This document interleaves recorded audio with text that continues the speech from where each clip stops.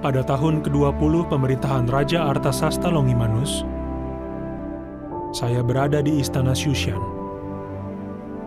Saya adalah pengurus minuman raja.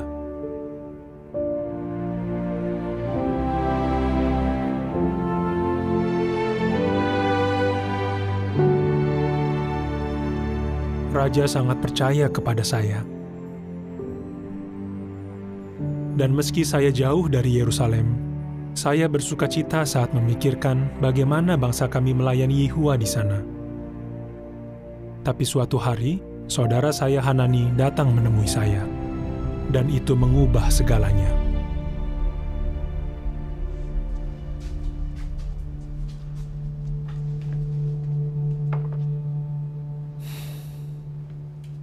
Kenapa Hanani?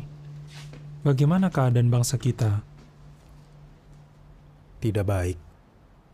Keadaannya parah sekali. Tembok Yerusalem roboh dan gerbang-gerbangnya sudah terbakar. Bagaimana dengan bait? Masih berdiri, tapi mereka cuma menjalankan rutin. Kebanyakan orang dan para imam mengabaikan hukum Allah. Ikutlah pulang bersama kami.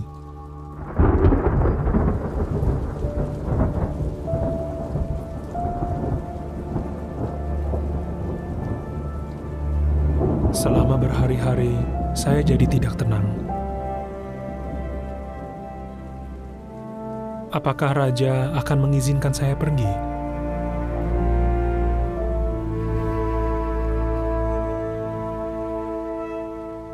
Bangsa kami berdosa karena tidak taat kepada perintah Yehua. Tapi saya merasa ikut berdosa juga kalau tidak membantu mereka. Jadi saya memohon bantuan Yehua.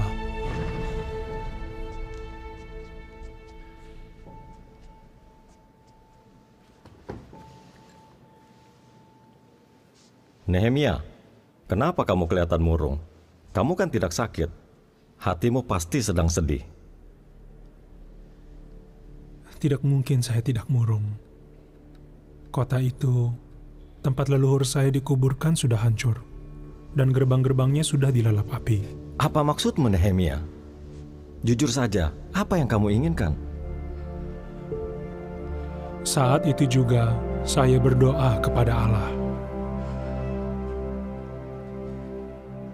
Kalau Raja berkenan dan senang kepada hambamu ini, utuslah saya ke Yehuda, ke kota tempat leluhur saya dikuburkan. Saya ingin membangunnya lagi.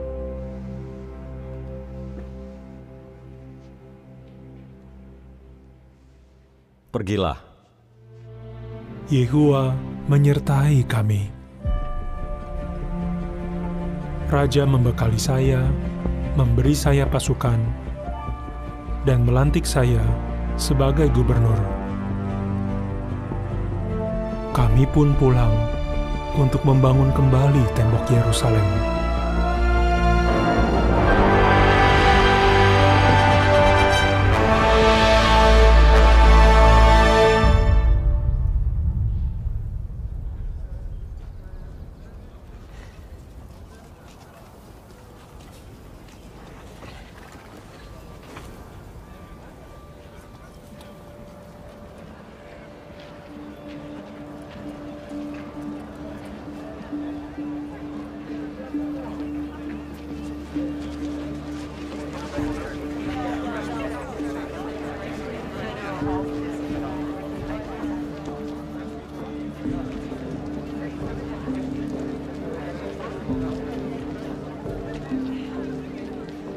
Saya sudah lihat sebagian Yerusalem, tapi sewaktu saya periksa temboknya pada malam hari, saya baru sadar bahwa keadaan kota suci ini sangat buruk.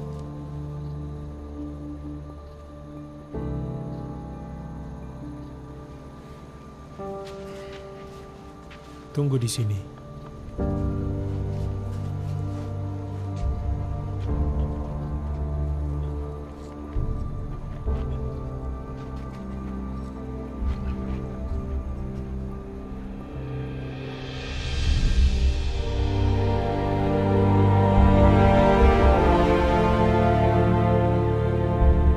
Ternyata kerusakannya parah sekali.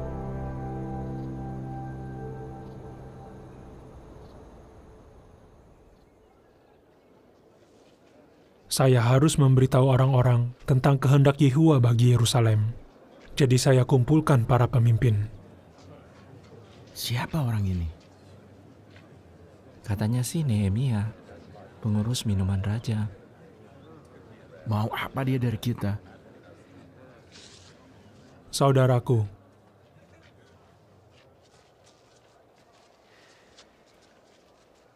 kota ini benar-benar tidak aman. Ayo, mari kita bangun kembali temboknya, supaya kita tidak terus dicela. Tapi bagaimana bangsa sekitar kita? Musuh kita kuat-kuat. Artasasta menyuruh saya membangun kembali tembok dan kota ini. Kalian sudah lihat sendiri, raja sudah memberikan pasukan berkuda dan kayu-kayu. Saudaraku, kebaikan tangan Allah kita menyertai saya. Jangan takut manusia. Allah pasti memberkati kita.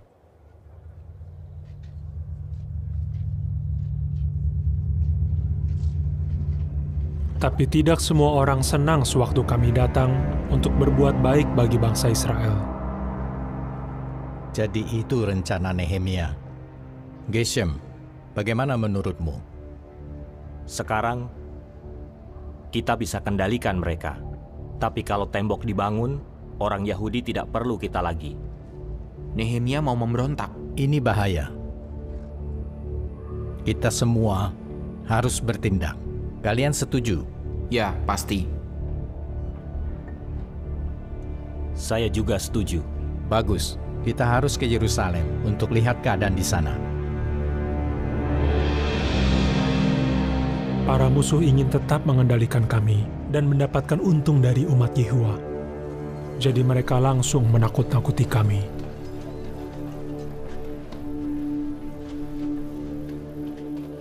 Siapa mereka? Itu Sanbalat. Dia gubernur Samaria.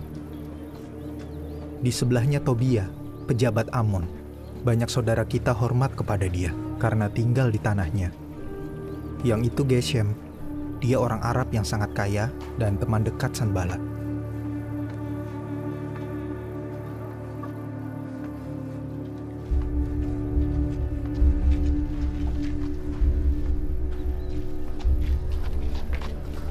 Nehemia, kalian mau melawan raja ya? Kami sudah dapat izin dari raja. Untuk membangun kota dan juga tembok. Raja memang ingin kami membangun kota ini dan temboknya. Kenapa tidak tanya saya dulu? Saya ini gubernur Samaria. Memang, tapi Nehemia sudah dilantik sebagai gubernur Yehuda.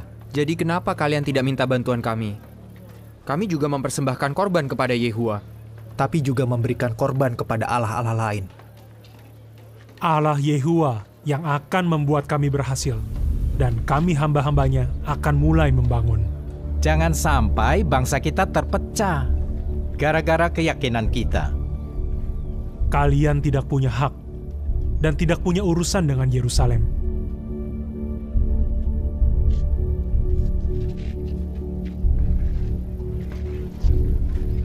Sanbalat, mungkin justru kamu yang melawan Raja yang Maha Kuasa.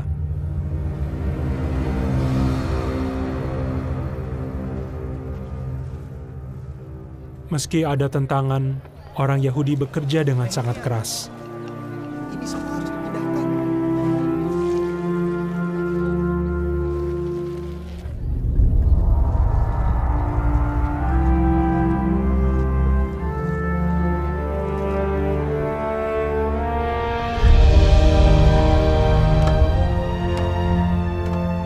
Selain itu, mereka juga menghadapi kesulitan lain. Tapi ada yang terus bertekun seperti Penuel. Teladannya menguatkan saya dan Yehua pasti mengingat kesetiaannya. Penuel, Raham, mana bisa kita bangun tembok dari puing-puing? paling tidak kita sudah berupaya. Kamu selalu positif. Oh ya, kamu terlambat bayar sewa lagi. Eh, maaf Raham, saya masih perlu waktu. Karena ada proyek tembok ini. Ya sudah, begini saja. Kalau kalian belum bayar sampai akhir bulan ini, kalian sekeluarga harus pergi. Apa ada jalan keluar lain? Mungkin saya bisa lakukan sesuatu untuk bayar kamu. Mana mungkin, kamu kan sibuk sekali. Tapi anak perempuanmu mungkin bisa tinggal di rumah kami. Jadi budak? Bukan, dia bantu Azuba sampai hutangmu lunas. Saya cuma mau bantu. Memangnya kamu bisa apa lagi? Kamu pikir saja dulu.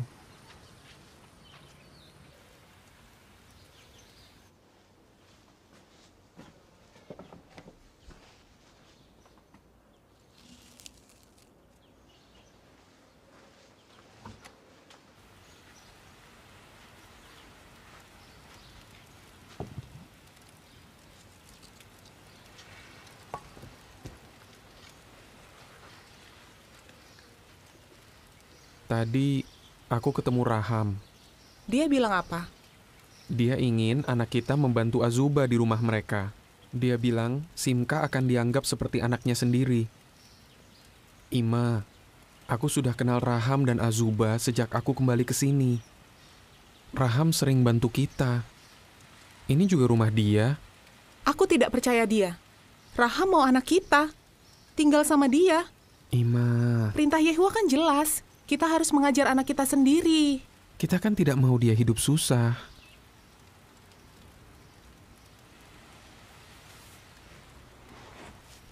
A- aku tidak setuju kalau dia tidak tinggal sama kita. Kita bisa kok hidup dari sisa panen. Memangnya kita bisa terus begitu? Yehua selalu mengurus orang yang menaati dia.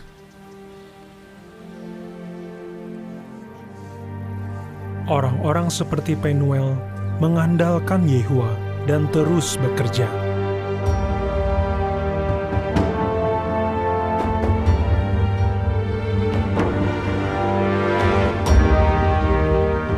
Sementara itu, Sanbalat berkemah di dekat Yerusalem untuk mengamati proyek kami.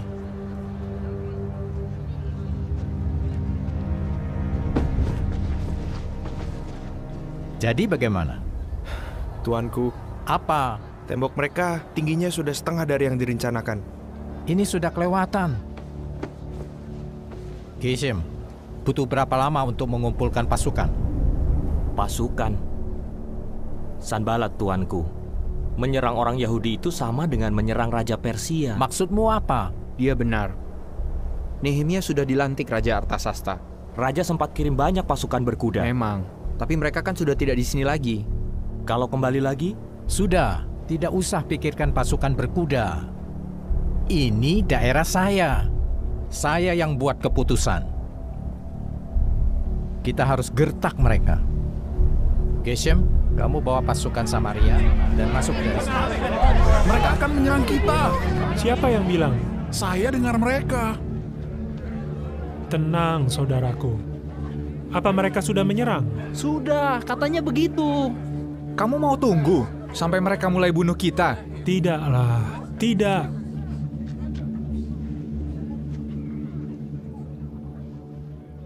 Hanani, atur pria-pria untuk menjaga bagian tembok yang paling rendah dan terbuka. Siap, Nehemia.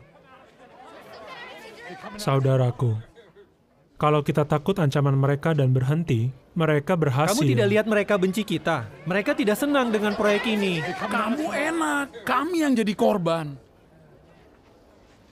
Di mana iman kalian? Yehua yang ingin kita membangun tembok ini. Kalau kehendak Yehua, kenapa banyak yang menentang kita? Mungkin ini belum saatnya. Proyek ini juga terlalu berat. Kami sudah capek. Buat apa ada tembok? Untuk melindungi umat Yehua.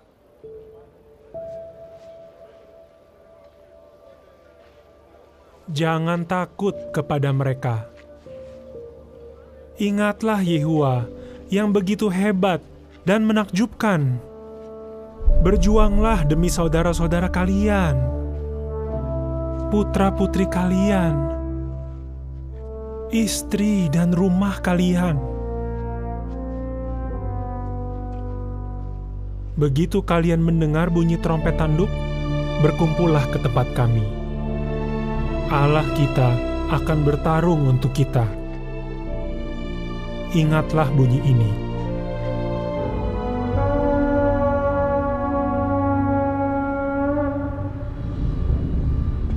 Gertakan saja tidak cukup. Kita harus segera menyerang mereka. Tunggu, kita sudah bicarakan ini. Menyerang mereka sama dengan melawan raja. Mereka juga punya senjata.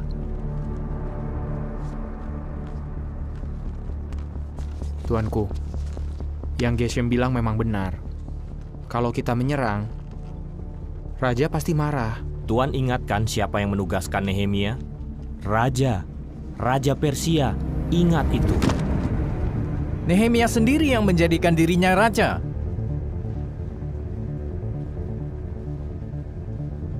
Kalau begitu, kita bilang saja Nehemia yang melawan raja. Itu bagus. Iya. Dia pasti bertekuk lutut. Ayo kembali ke Samaria.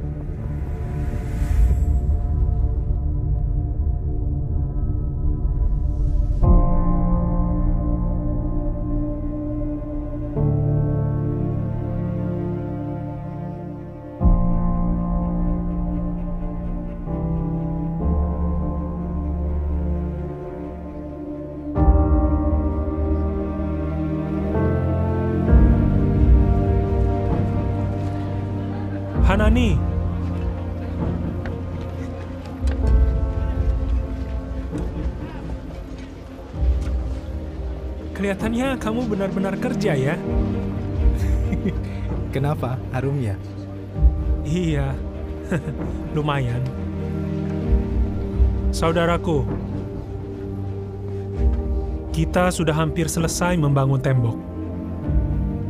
Yehua membantu kita. Kita semua harus terus semangat. Mulai hari ini, kita semua akan bermalam di Yerusalem. Kita akan bergantian jaga malam. Hanani yang akan mengaturnya. Terima kasih semuanya.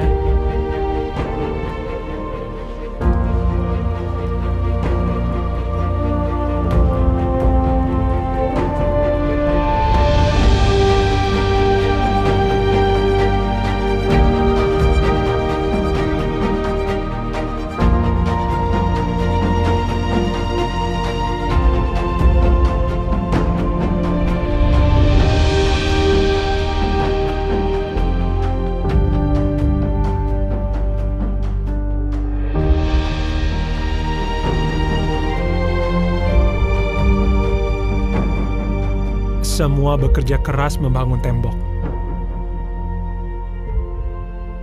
Tapi masih ada masalah lain. Saudaraku, ada yang bisa saya bantu? Nehemia, anak laki-laki dan perempuan kami banyak. Kami semua perlu makanan. Kami sudah gadaikan ladang, kebun anggur, dan rumah kami untuk mendapatkan biji-bijian.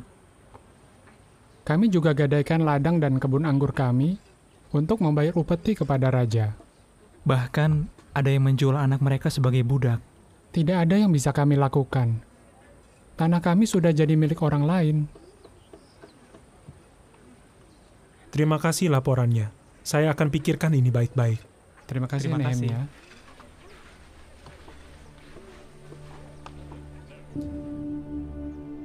Hanani, tolong beritahu semua bangsawan dan pejabat untuk bertemu saya besok pagi. Dengan bantuan Allah, kita bisa selesaikan masalah ini.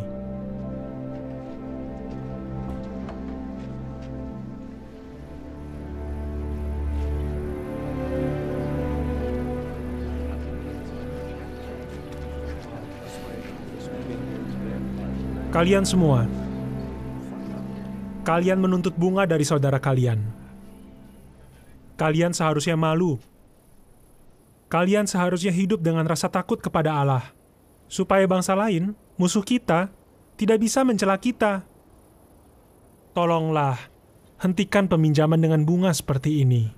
Tolong kembalikan ladang, kebun anggur, kebun zaitun, rumah mereka, dan juga bunganya. Nehemia, saya akan langsung kembalikan semua ladang hari ini. Kami akan mengembalikan semuanya.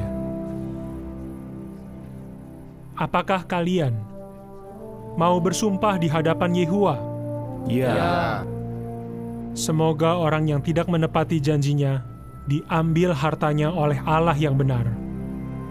Amin.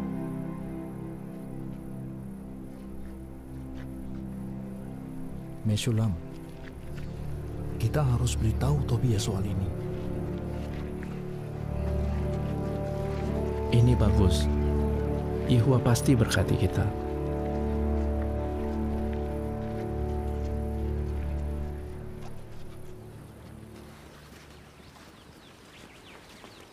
Raham, ada berita bagus. Oh ya? Iya, kami sudah bisa bayar sewa. Oh, Ambil saja di rumah kami. anakmu tidak jadi kerja sama kami?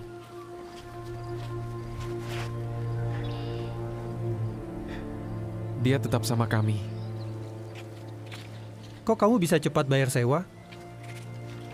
Yehua selalu mengurus orang yang menaati dia. Sejak Nehemia di sini, keadaannya terus semakin baik.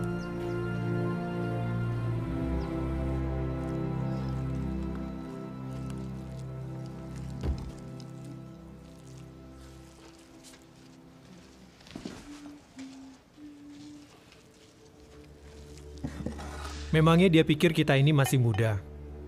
Aku sudah kerja keras sejak zaman Ezra.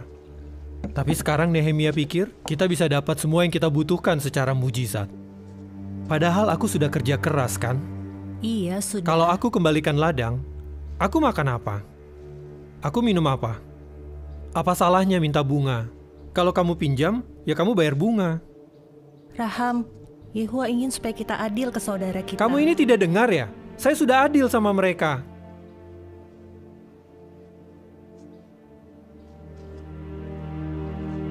Kenapa kamu marah-marah? Aku tidak marah. Kenapa sih kamu begini? Aku sakit hati. Sama siapa? Orang-orang yang pinjam uangku. Jadi aku harus bagaimana? Beri aku anak laki-laki atau anak perempuan. Itu tugasnya istri. Aku tidak bisa beri kamu apa yang Yehua tidak berikan.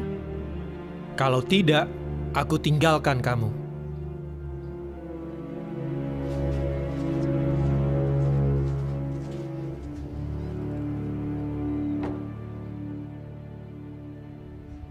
Kita tulis surat saja ke raja. Kita tunggu saja dulu laporan dari Yerusalem. Tuanku Sanbalat, Ya, bagaimana? temboknya tidak ada celahnya lagi. Apa? Kenapa mereka bisa cepat sekali? Dan ada surat untuk Tobia.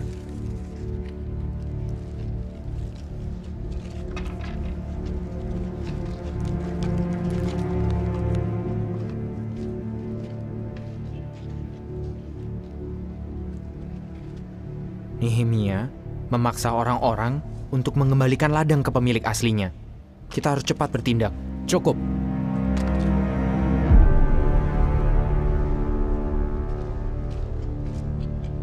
Bilang ke Nehemia, Datanglah, mari kita tentukan kapan kita akan bertemu di lembah Ono. Mereka pasti ingin mencelakai aku.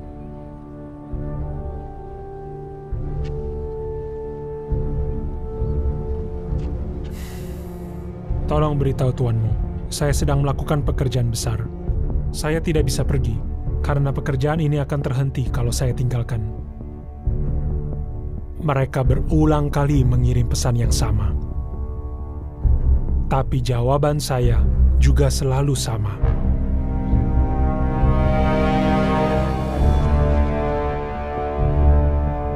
Sudah empat kali dia menolak permintaan Tuan.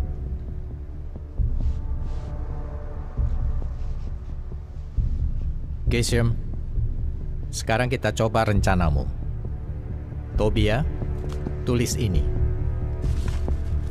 Bangsa-bangsa sudah mendengar, dan Geshem juga mengatakan bahwa kamu dan orang Yahudi berencana memberontak. Untuk itulah kamu membangun tembok itu.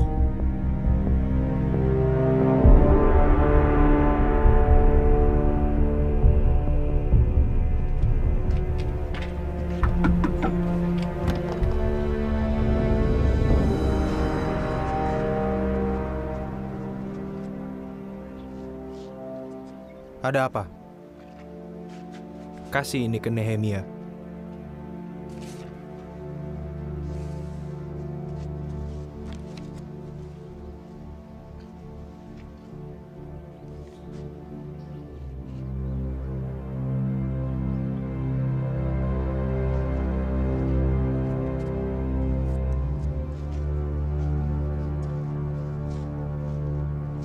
Bilang ke tuanmu, yang kamu katakan itu tidak benar. Itu semua hanya pikiranmu saja.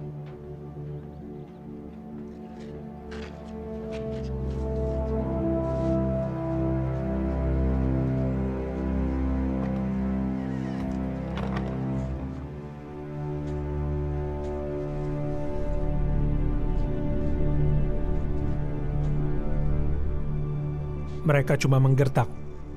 Mereka ingin kita takut supaya proyek kita berhenti. Ya, mereka tahu raja tidak akan mengubah perintahnya. Tapi aku yakin mereka tidak akan menyerah.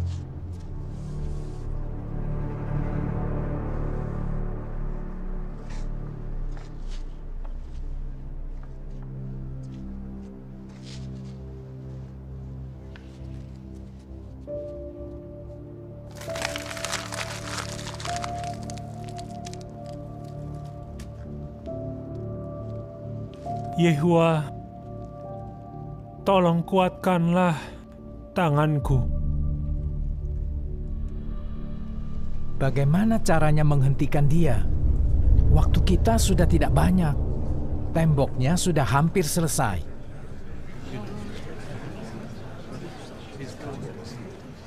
Sanbalat, sepertinya ada satu cara. Shemaya, kamu cari saya? Ya. Ayo cepat.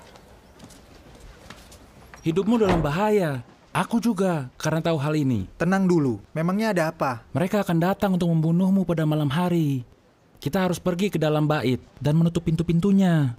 Shemaya, mana mungkin orang seperti saya melarikan diri? Tapi ini bahaya. Tidak. Itu bisa membuat bangsa kita patah semangat. Cuma itu tempat yang aman. Saya ini bukan imam. Kalau saya masuk bait, justru saya harus dibunuh.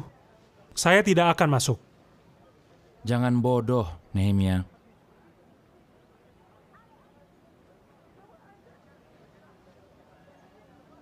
Oh, mereka. Tobia dan Sanbalat yang pasti menyuruhmu kan? Jangan munafik. Semoga Yehua menghukum mereka dan kamu semua nabi-nabi palsu yang menakut-nakuti saya. Ayo Hanani, kita harus kerja.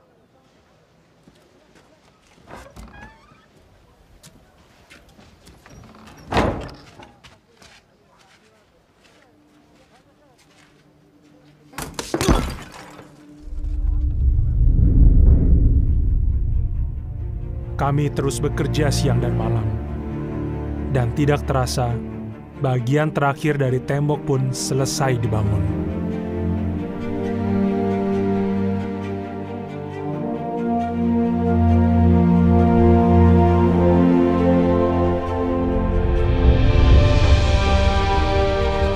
Yehua membantu kami untuk menyelesaikan apa yang kelihatannya mustahil. Kami memang lelah, tapi kami menemukan sesuatu yang sudah lama hilang. Sukacita. Nehemia, temboknya sudah selesai. Akhirnya, hanya 52 hari.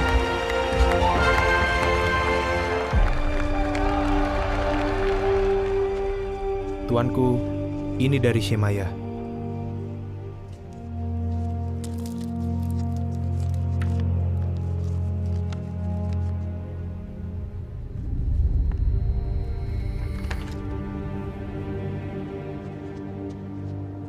Apa isinya?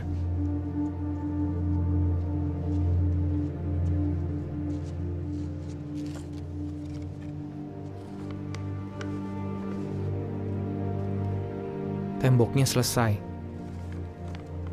Tinggal pintunya saja yang belum dipasang. Kita harus cepat bertindak. Sudahlah. Tobia, Masih bisa. Kita tulis surat kepada Tobia. raja. Belum jelas ya. Allah membantu orang Yahudi. Ini sudah selesai. Kita tidak boleh menyerah. Ini belum selesai.